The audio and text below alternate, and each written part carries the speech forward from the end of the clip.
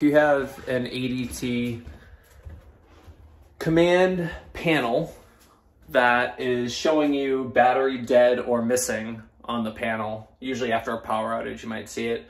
It's very, very simple to replace the battery in this. And the only tool you need to do this is a little Phillips head screwdriver like that.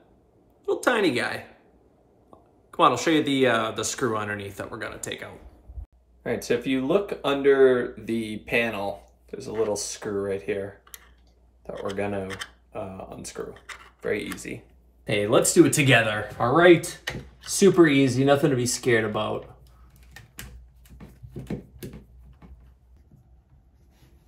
All right, save the screw. And this just slides right off. And you'll hear this thing beep a little bit um, because it it detects when you remove it from the um, the faceplate. It's no big deal. You want to make sure that you pull a little bit of the power line out, the power cable out of here so you're not stretching it.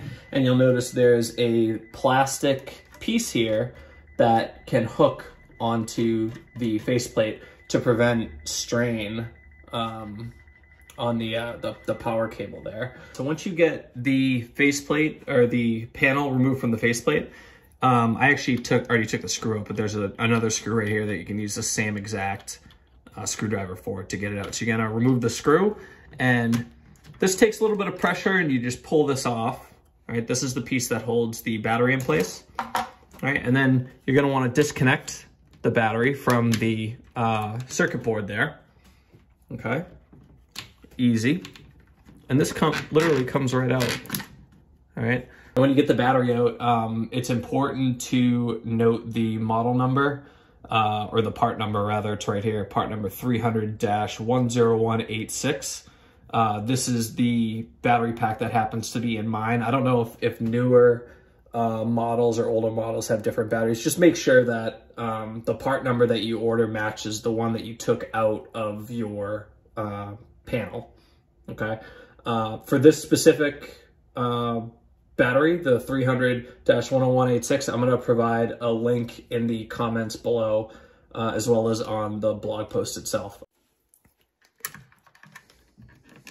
This piece fits nicely back in here like so.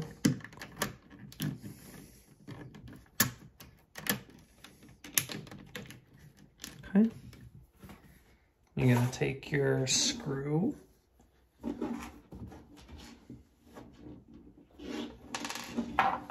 The larger of the two screws in case if you forget.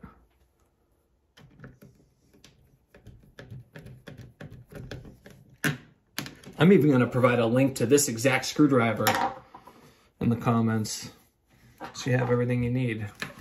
All right. Uh, make sure you unhook the little piece of plastic here, not a big deal. And this whole piece, make sure you can see this here. This whole piece just slides back in.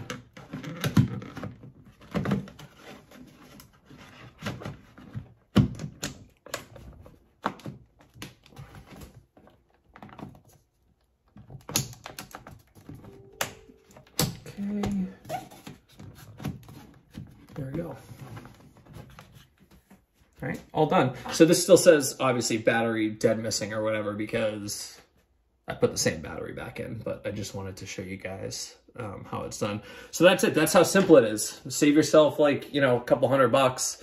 Um, grab the battery yourself, grab a screwdriver, and get this changed out and, and, you'll be back in business. That's how it's done. See, we did it. We did it together, all right? Just like I said. Super easy, super simple. Save yourself the money. Just do it yourself. Check the links below for the screwdriver and the battery. Comment below if you have any questions. Talk to you later.